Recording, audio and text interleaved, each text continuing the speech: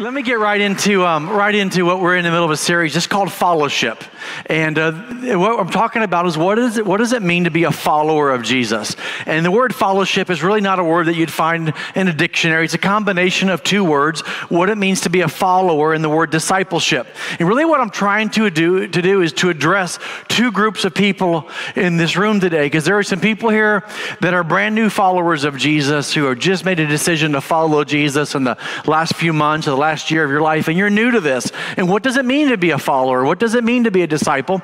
And then there's another group of people that I want to talk to that are that I can relate to. And those are people that have been serving God for a lot of years, for many years. But we deal with something called spiritual drift. And um, you don't even you don't even mean to do this, but you slowly drift away. It's like a slow leak in a tire, and and you find yourself further away from God than what you wanted to be. And Jesus dealt with this. He said to be my follower. And, and I want to unpack that thought for you. Our text for this verse, for this series, rather, has been this verse right here. It's real simple. It's in John 17. Jesus said, I'm not asking that you take them out of the world, but that you guard them from the evil one. And like what we know right now is the world is a mess, that the world's way is not working. And so for a lot of Christians, we're like, Come, Lord Jesus, come. But can I tell you something? I mean, although that's going to be a great day, that was never his plan to come back for a defeated, frightened church. He wanted to come back for a glorious, overcoming church. And so the goal isn't to take us out of the world, but he said, hey, by the way, they are no more defined by the world than I am defined by the world. What I want to tell you is this there are thousands of voices in the world that are trying to define you right now. There are thousands of influences that are trying to define you, whether it's social media, whether it's at the workplace, whether it's, you know, news media, entertainment. And can I tell you something? The loudest voice in your life can't be the world. The loudest voice in your life has to be the voice of God right? If you're going to feed on anything, feed on Scripture. And so we're talk, we're kind of unpack this thought, what it means to be defined by the world. And what we have done is we've gone a step further and said, okay, what does it mean to be a follower? Now I want to warn you. This series is going to end next week. It's a five part series. And I wrote this specifically to move people so you become a better version of yourself. I wrote this specifically to challenge people in their walk with God. And I'm going to start off with a, a strong, strong statement. And Jesus said this He never said to attend me, He said to follow me. And I think there's a crisis in our nation right now. There's a crisis in our nation that we have churches that are full of attenders and not followers. We have people that go to church, and that's great. Trust me, I'm a pastor. I'm glad you're here. But, but it's not just that. He said, He didn't say, I'm going to build my church so you can attend it. He said, No, I'm going to build my church so you can follow me.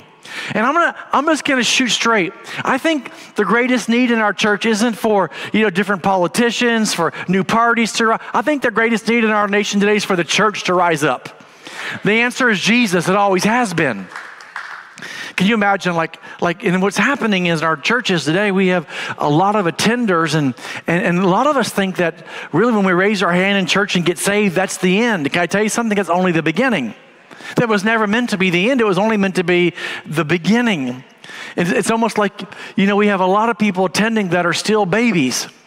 You know, and can you imagine if a nation and they gave birth to all these hundreds of thousands of babies, but the babies never grew up? How many know that nation would not survive?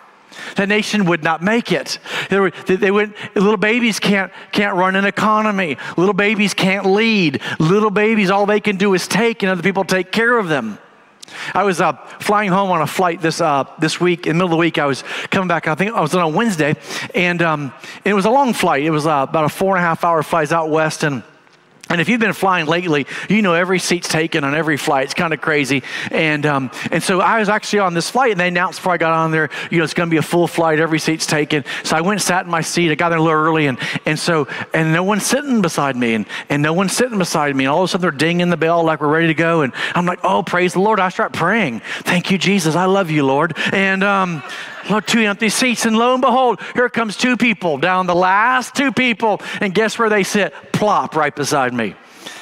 And, um, and so I'm sitting there, and, and, actually we're taking off, and we get up settled. And I like to, I'm a reader, and and um, and I do some work on the plane. And so and so the internet's not working on the plane. It's a long flight, and and I'd been pretty busy on this trip. So I just thought I'd just chill out. So I got my iPad out, and and um, what I like to do, especially when I don't have one of the kids with me, is is I like I keep my iPad, and for a lot of reasons. But one of the things on there is there's a lot of photos of the family on there, and I miss them. You know, I'll keep it. I'll look through it. So I had some extra time to go back and look, and I went back to a section on the album. Dina put some on there for me, and it was when Caleb, our nine-year-old, was born. And I was looking through pictures in, in the um, hospital of when he was born, and, and he had his little, he was, of course, an infant, and then, and then he had his two-year-old sister, Olivia, and a five-year-old Julia, and an 11-year-old um, uh, John Mark, and 13-year-old Natalie, and they were all in this picture. I'm kind of going through it, and I noticed this lady beside me. She's kind of like, I'm like, oh, and I hear her go, oh, and she's kind of watching with me, and I'm oohing, and she's awing, and um, so I, was, I, didn't bother me a bit. I'm like, these are good-looking kids, you know. I made them, and. Um, and so, so, so we're going through mall, and, and then we kept going through, and the families just get a little bit older, and we're just kind of, I just kind of got a couple hours going through pictures for years, and she's with me, and, and she's looking at it, and she looks at me, and I can almost hear her think, how can you be so old and have that young, many young kids? And so I looked at her, and I said, oh, they're not that age anymore. This is a nine, these are nine year old photos. She goes, Wow, I was going to say, if you're that old and you have that many kids, it's going to be, you're in trouble. and the goal, listen, the goal in having kids is not to just have kids, the goal is to move them along, to make them better versions of themselves. And I, I fear that we've measured success in the church today by attendance rather than disciples. How many can we get to come versus how many are we growing? Jesus said, It's not about attending me, it's about following me. I've told you this before. You're going to be in one of four places. You could be seeking. And if you're here today and you're seeking, I'm, I'm just honored that you would come. I, I, I mean it. I prayed for you this morning. I prayed for you this week. Uh, if you're seeking, where this is right for you, whether to follow Jesus or not. Take your time, make your decision. What I know is if you don't make the decision today, you'll be back because there's no other way. There's nothing else that'll make you satisfied other than following Jesus. But then once you make that decision from seeking, you go into a relationship. And that's where a lot of Christians are stuck. I have a relationship. I began a relationship with Jesus, but Jesus takes us beyond a relationship to discipleship. And, and that's where we're growing. So we, and our, our church is built around that. We want to grow you in your walk with the Lord. Ultimately, the goal is that you have lordship. That you, that Jesus is, He becomes the Lord of your life. What I want to do is I want to talk to you today about becoming the best version of yourself. I want to talk to you today about something that I live my life. This is how I pastor from this statement that I want you to get to heaven and have no regret. I'm going to title this message, if you're looking for a title, it's simply going to be Great in the Kingdom. What does it mean to be great? What does the Bible define as greatness? Because the world is going to define greatness for you. What I know is this, the world will define greatness and they'll say, "Well, you're great if you you're great if you have power." Like if you they they'll say, "You're great if you have a lot of power, if you're in a position of authority and you can get people to do what you want." Or they would say, "If you have position, if you finally have position, if you have risen in the ranks and you're the CEO of a company or you're an owner of a company and if you have you have position position, then you really, you're great. Or they'd say this if you have pay, if you make good money and if you if you got good a lot of money in the bank and, and you got a lot of bucks coming in, then you're gonna be great. And ultimately they'll say, man, it's prestige. If you have prestige, then you're great. If people know you're something, if people look up to you and people want to emulate you and, and you have all the and you're well known, then and really this is what the world defines as, as greatness. But what did Jesus define as greatness? I want to unpack that for you. To do that, I want to take you to a story that's found in the book of Mark, in Mark chapter 10. And I'm going to have it for you up on the screen. And let me set this up for you. Jesus had a, a, team and he had 12 disciples. And what the scripture clearly, clearly tells us is not only did he have those 12 disciples, but he even had others that kind of helped on his team that were uh, on the crusade team and treasurers and all that sort of thing. He had a little, he had a small, small little group that worked with him. And, but the main were the 12. And it says, James and John, the sons of Zebedee, came over and spoke to him. So let me set this up 12. And then the two get Jesus apart and they're by himself. And James and John, they came over and they said, Teacher, We want you to do us a favor. So Jesus said, Okay, what is it? What is your request? And they replied, When you sit on your glorious throne, we want to sit in places of honor next to you, one on your right and the other on your left, which, which really honestly, there is, we think of a glorious throne. It's not the glorious throne they were thinking of. We think about a throne in heaven, sitting, sit at the right hand of the Father. That's not the throne they were talking about because, in their mind, Jesus was coming to overthrow the Roman uh, uh, government and, and, and the oppression. And they thought he was going to form a new government where Jesus was going to be king. And by the way, he is king. He just now is king of kings. And um, he said, and they, they said, well, he, you're going to become king. You're going to get, Israel's going to become the nation of the world like a superpower, and we want to be the vice president. We want to be the secretary of defense. We want to be your right hand people. Verse 41 But when the other 10 disciples heard this, what James and John had asked, they were indignant. They were ticked off. They were like, Man, who do you guys think you are? So Jesus said, Okay, everybody, come here. Get together. Let's talk about this. He called them together and he said, You know that the rulers in this world, like if you're in a position of authority in this world, you lord it over people. If you have prestige, if you have power, if you have position, if you have money, you lord it over people. In officials, they flaunt their authority over those under them. Come on, doesn't this describe like the world system right now? If you can get up, then you're going to be okay. Verse 43 But Jesus said, You are to lead. Man, it's going to be a different model for you guys. If you want to be the greatest, he says, okay, now think about this. These are the words of the master. These are the words of Jesus. He said, if you want to be the greatest, I purposely didn't put it on the slide because I want you to fill in the blank. Like, what would it be to be the greatest? When you think about the greatest, is it someone who has a lot of authority? Someone has a big platform? Someone that has a big audience? Someone that has a lot of money? Someone that's, that, that, that, that the world looks up to? Prestige? He said, if you want to be the greatest, this is the model that I want you to live by. Then live as one called to serve others. Now, why did Jesus have to talk about this? I'll tell you why. Because it's not going to come natural to you you're not going to want to do this. This is going to be the opposite of what the world's going to tell you. No, become great so others can serve you. Jesus said, No, serve others and become great. The path to promotion comes by having the heart of a bond slave who serves everyone. He said, For even the Son of Man did not come expecting to be served by everyone, but to serve everyone and to give his life as the ransom price for the salvation of many. This is the opposite of what the world says, to which I'm going to tell you here's what Jesus is basically saying a great quote. I don't know who wrote this, but I, it's unknown. If serving is beneath you, leadership is beyond you. He's talking about having the heart of a servant. See, great in Jesus' eyes is not to go up, but to go down, not to become great, but to serve. And I honestly think that about East Coast Believers Church. I, I work with a lot of churches and pastors, and a lot of pastors, they pray this way Lord, give us, Lord, give us our city. Lord, give our city to us. And can I tell you something? I think that's the wrong prayer. I think the prayer is not give us our city. See, the city's not a gift to East Coast Believers Church. Can I tell you something? East Coast Believers Church, we're meant to be a gift to the city. It's not the city exists for us, we exist for them. That's why this Saturday is Love Our City. That's why this Saturday we're going to go out and teams of people are going to go out in three, a three hour shift and we're going to go out and love on our city. You know why? We're going to model for them what Christian leadership is all about. Can I get a good amen, everybody? Let me, let me take you, I want to go a step further. And I want to take you to a New Testament story. I want to take you to a story that's a parable, one, probably at least the second or third most famous parable that Jesus told.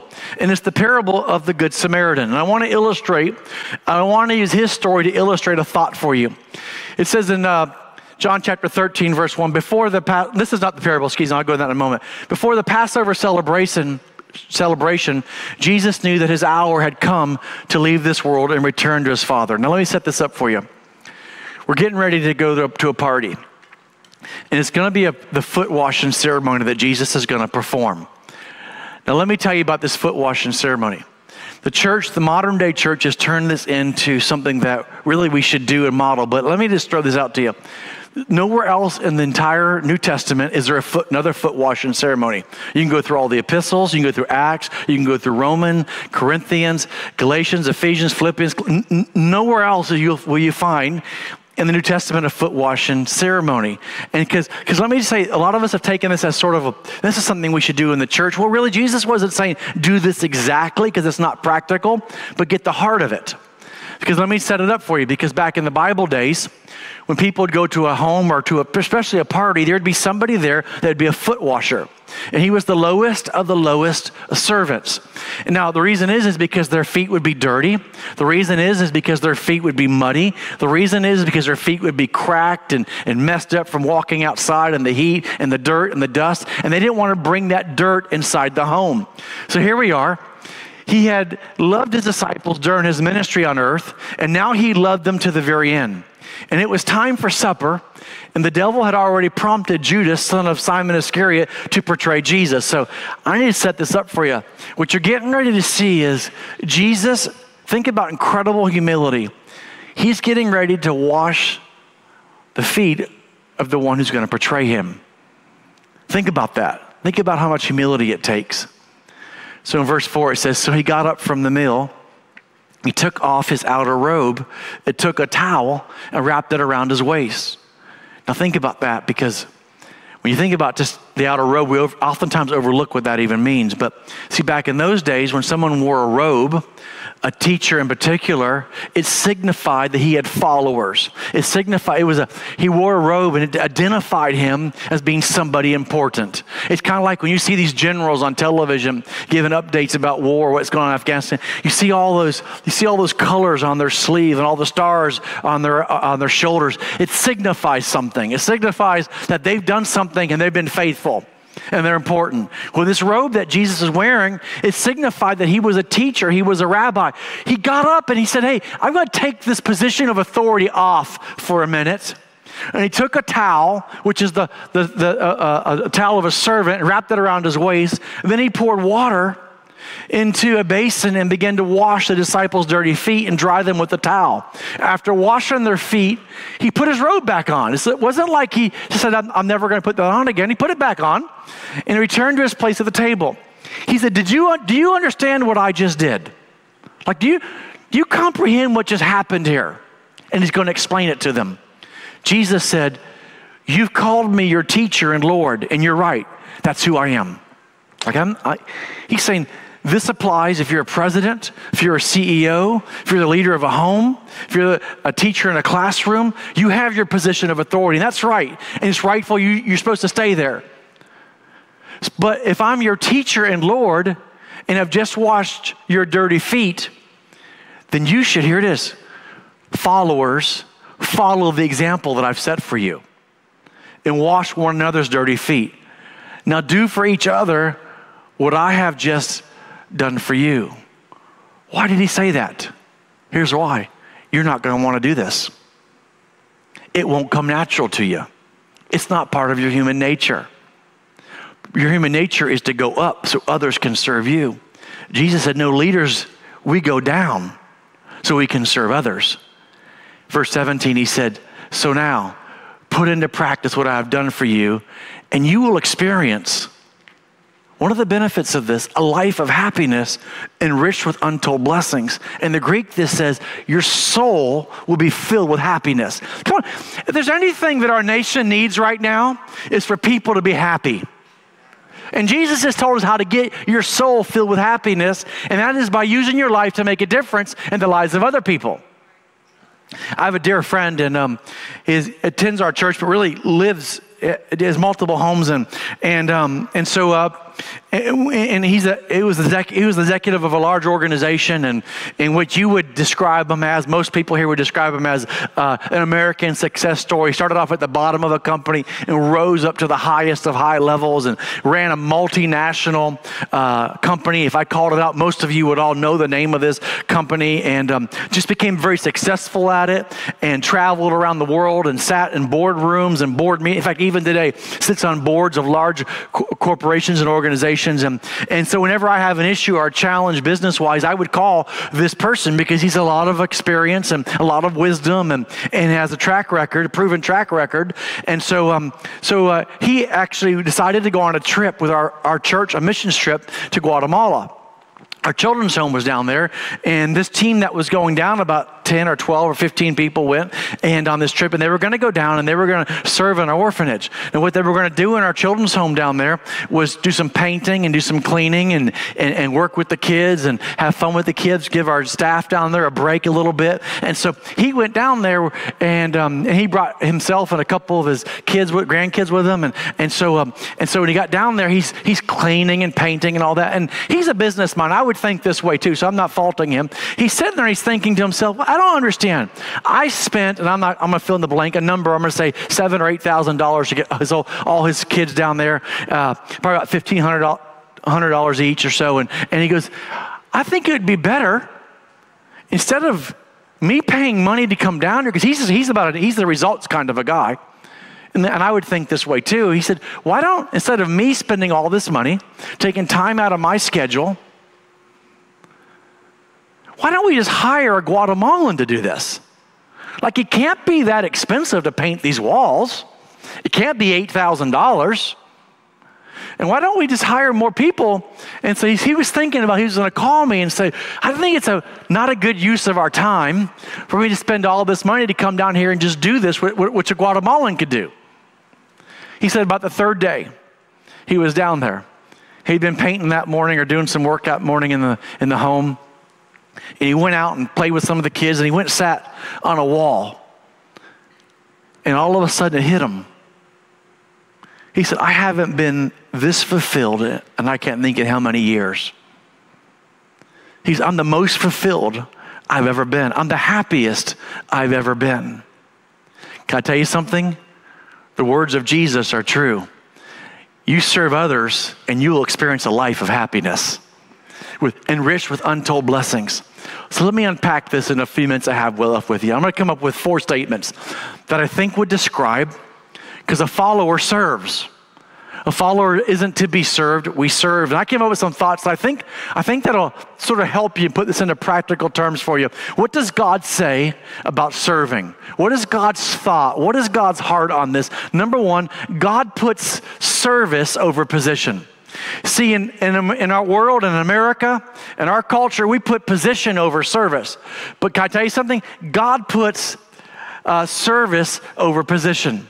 We say, well, I am, you can fill in the blank, I am doctor, I am a CEO, I am the leader of my home. Therefore, you serve. And can I tell you something? That's never the heart of God.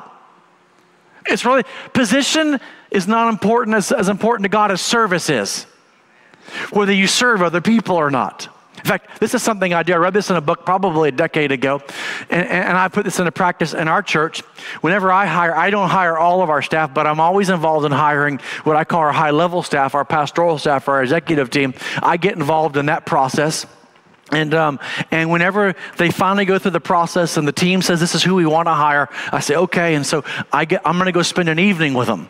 And so what I do is, and I ask them to come down with their family and bring their family down. We'll pay for it, and, um, and, um, and, and their kids. And we always go to a restaurant.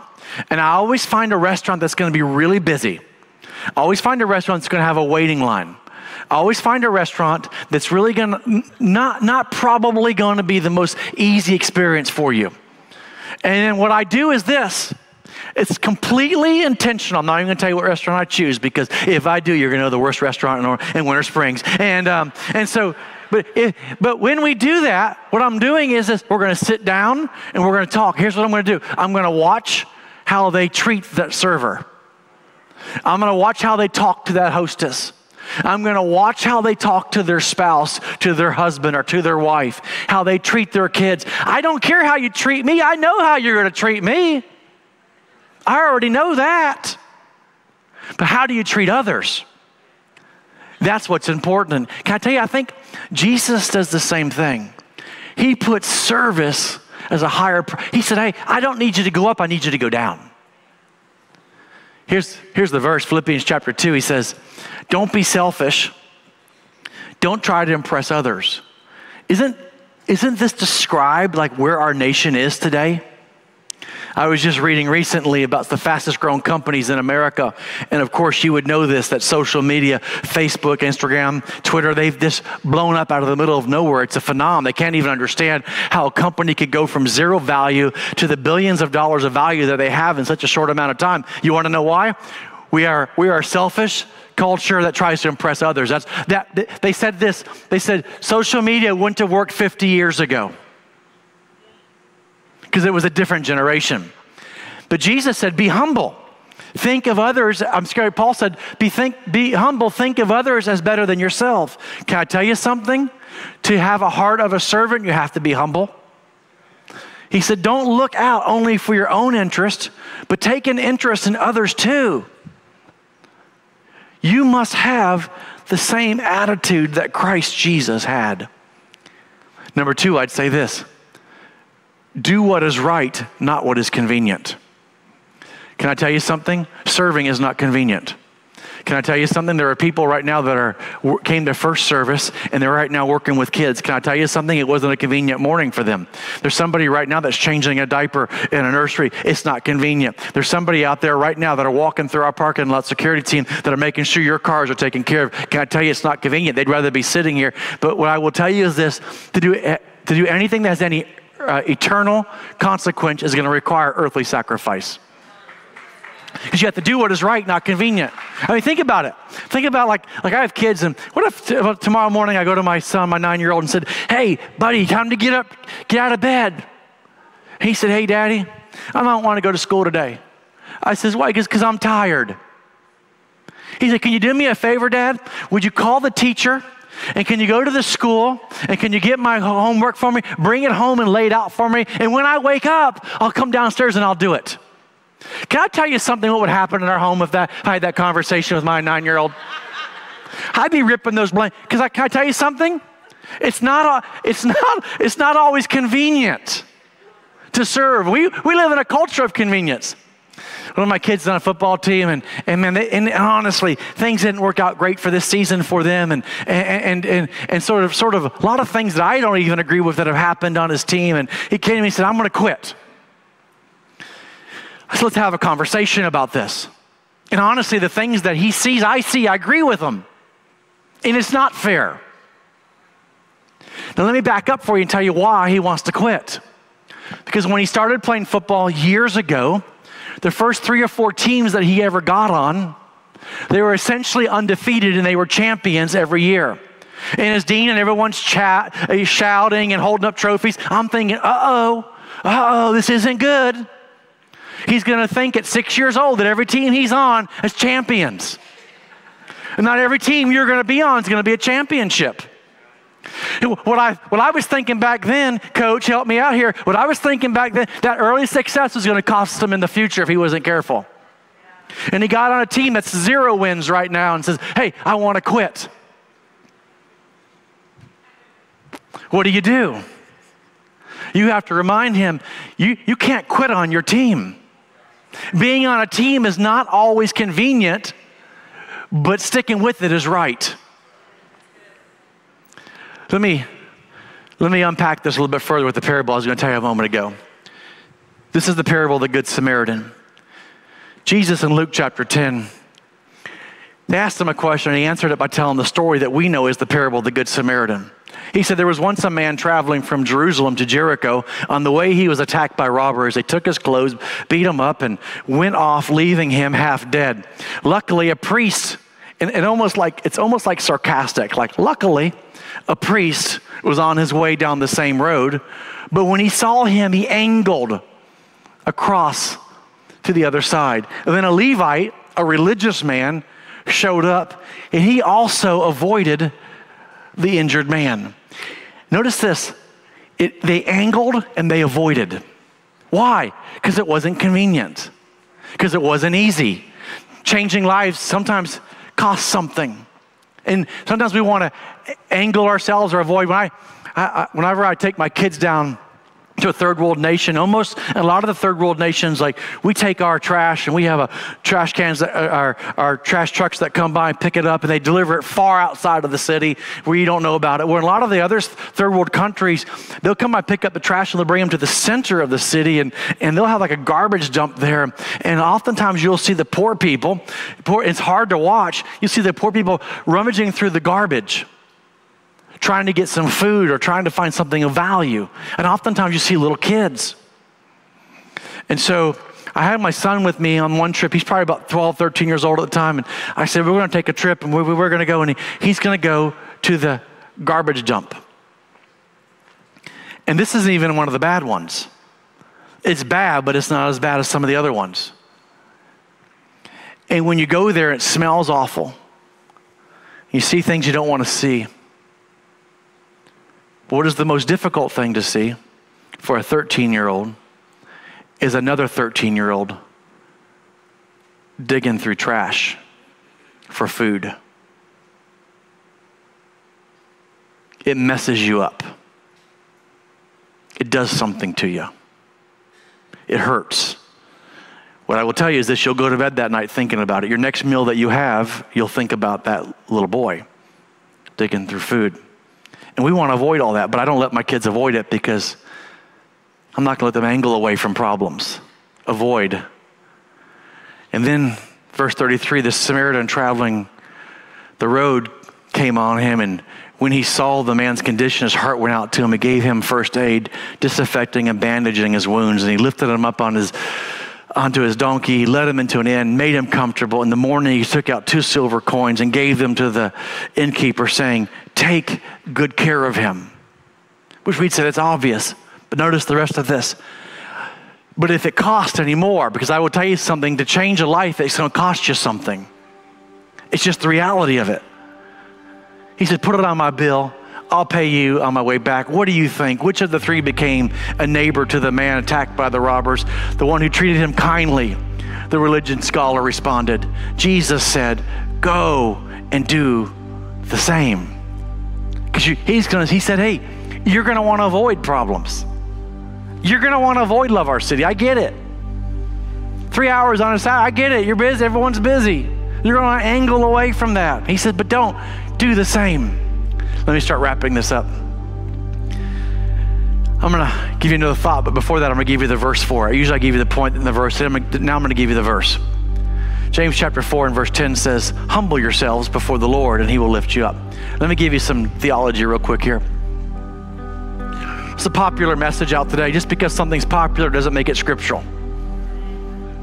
Even if I preach something that's, don't take my word for it, see if the Bible says it or not. I always want you to go to the Bible, not to me. But there's a popular thing out there that God will humble you. And can I tell you something? In the New Testament, there's not one single verse that says God will humble you. Now, the Old Testament, there is verses in there, but they didn't have a heart to God. They had a heart of stone, not a heart of flesh. They didn't have a soft heart that was in tune with the Holy Spirit that would lead them to the right decision. So God would do that for them. But under the New Testament, He says, God's not going to humble you. You have to humble yourself. It's a whole new thing. Well, God's going to humble. No, no. New Testament, you humble yourself. God's not going to bring you low. You got to bring yourself low. And can I tell you something? To serve, it's going to require some humility. That I'm going to do it God's way, not my way. Someone says, Where do I serve? Where, where do I serve? Number one, your family. Can you imagine? how different your family would be if you walked in there and said, I'm going to serve you today? How can I serve you? What can I do for you? How can, how can my life make a difference in your life today? What I'll promise you is this go home, husbands, to your wife and say, What can I do to serve you today? And, and after you pick her up off the floor, um, do it. You'll have a better home. Kids, if you went to your home to your parents and they said, What can I do to make your life better in the home? Ser- serve, serve your family, serve your community. So proud of our outreach team here at East Coast. Tens of thousands of meals go out a year, and hundreds of thousands of pounds of food, and teams go out, and schools are changed and filled up with food, and outreach occurs at a level that, and I'm proud of you for paying for it. Thank you. But you're making a difference in the lives of people. Ser- serve your serve your church. Like if if your church made you better, then you make it better. Like like we worship one and we serve one. That's our motto. I'm going to use my life to make a difference. Every team here said I they, they're making it, but they'd be a whole lot. I know you think everything's great, we're perfect, and we're getting it, but can I tell you something? Every team would be better if you were on it. It would. Here's what I'm saying. If you just started in these three areas your family, your community, and your church it would change everything. So, what's our goal? We're, in, we're done now. What's our goal? Our goal is this, and it's, it's pretty simple and it's pretty easy. Culture doesn't say to do this, but this is what a follower does not to be great, but to make Jesus great. We, we want to make him great.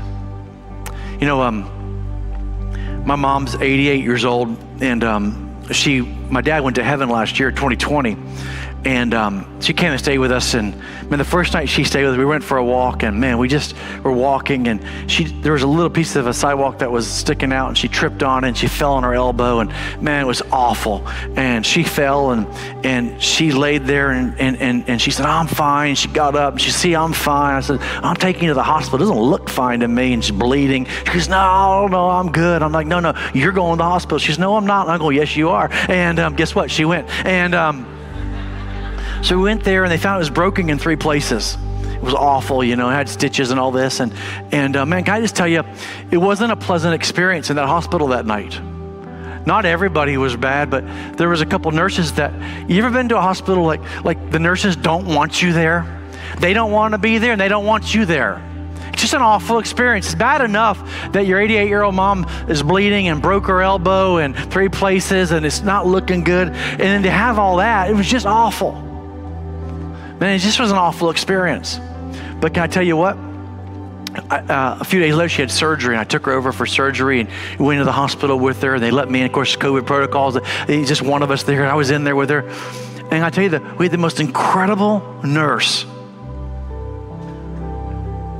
And she made that experience like complete polar opposite of what we experienced at the hospital we went in for surgery. It's like she wanted to be there.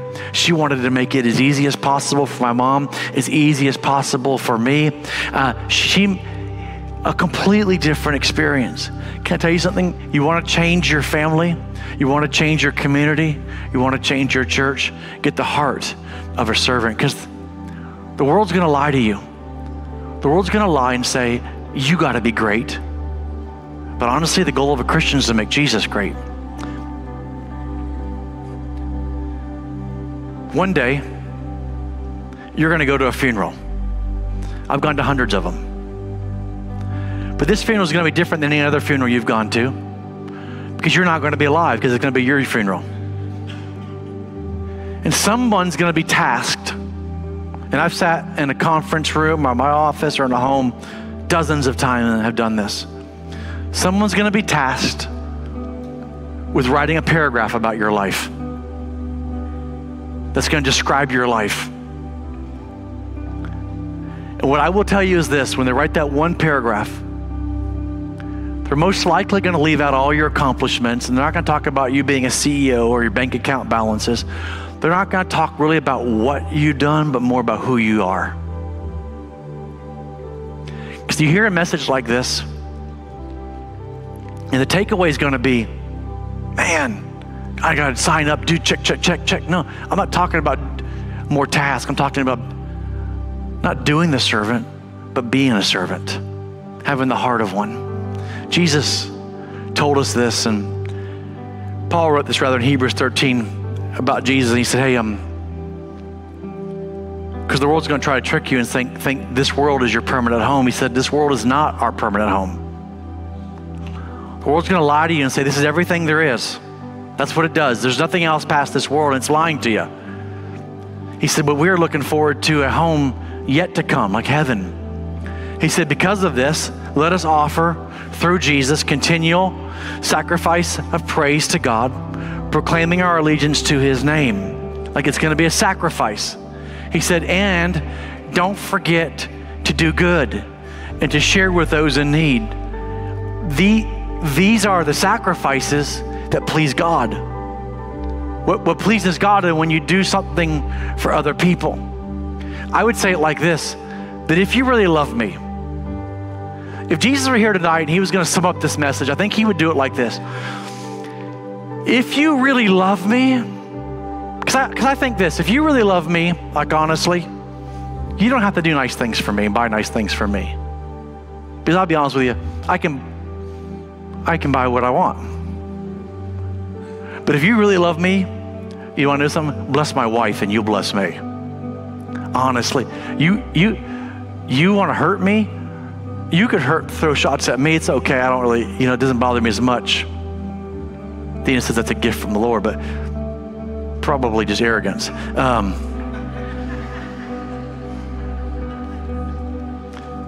but you want to hurt me? Talk bad about my bride. You want to bless me? Bless my kids. You want to bless me? Bless what I love. I think Jesus said, if you really love me, love others.